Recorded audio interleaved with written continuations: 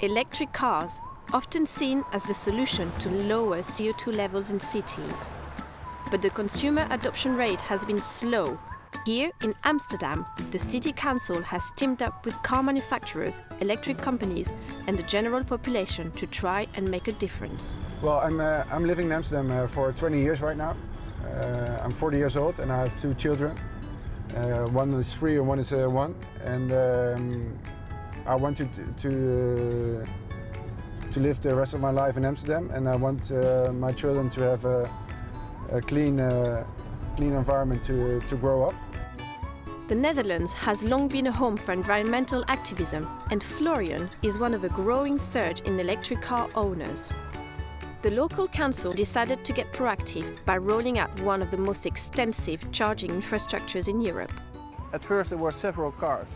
Now we have already um, almost 10,000 unique users in Amsterdam making use of the charging infrastructure. Uh, but it's still the beginning of the, um, well you could say, of the transition to uh, cleaner and smarter mobility in the city. Drivers are offered free street parking, tax breaks and a car sharing scheme called car2go. It's hoped that all this momentum and the overall cheaper operating cost will drive greater use of these vehicles. When you sleep, you charge your car, so you always have a full, uh, full tank uh, filled with uh, electricity instead of uh, gasoline.